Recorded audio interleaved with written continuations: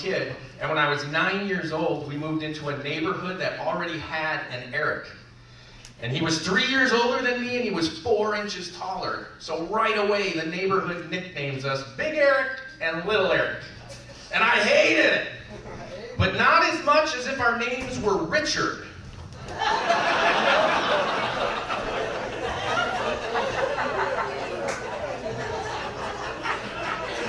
but I do, I, uh, I do like working out, and people usually notice. Uh, I was doing a comedy show a couple weeks back, and there was a table, and there was a couple at the table, and every time I looked at the table, the woman would just start giggling and put her head down. And, and finally, I had to ask, I'm like, what's going on over here? And, and the guy says, buddy, you check all my wife's boxes. You're bald and you got muscles. She is so wet right now. That's a true story. That's true. And it made me wonder, like, you know, I was flattered, but is this happening at other shows?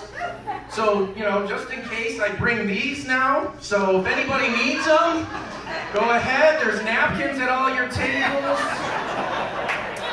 Feel free. They are not feminine napkins. They are all gendered. Nobody judges oh, here.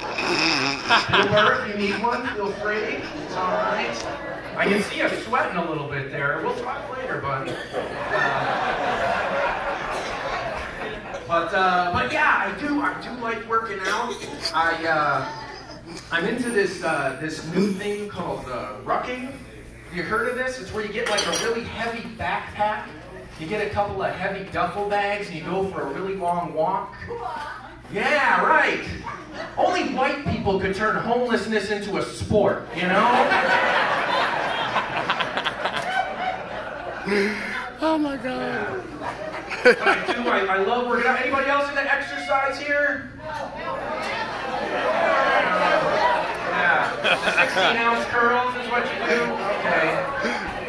You, you guys kind of look like a do a push up for me kind of crowd. I get that a lot. Do one for me. Run a lap for me. It's not how it works. Not at all. I don't know. But uh, what I do, I, I, like working out. I try to stay healthy. I go to the doctor. Uh, I just had my physical. I checked out okay. Uh, he did say though that I'm at the age where it's time for colonoscopies. Wasn't real hot on that. Wasn't hot on that. Uh, but he said I'm young enough still that uh, I was an ideal candidate for Cologuard. You guys heard of this one? Yeah, we got one guy over here. I asked the doctor, I said, what's that all about? He said, well, they'll give you a kit, and you take it home and provide